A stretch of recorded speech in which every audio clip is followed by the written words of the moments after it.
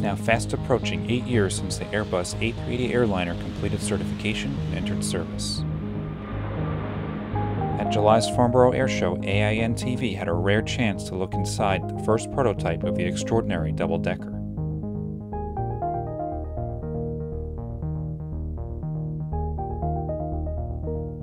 It's still kitted out as a test aircraft, and Airbus engineers are still using it to perform ongoing test and product development work.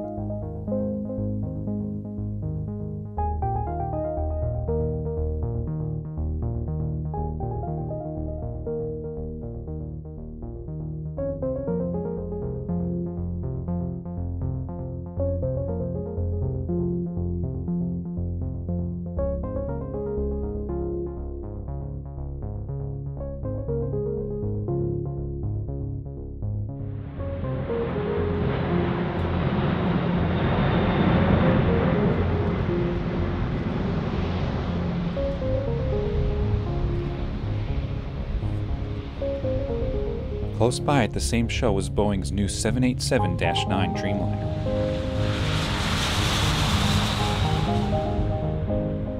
It too has been used as a flight test aircraft, but it will now be refitted to serve in the fleet of launch customer Air New Zealand.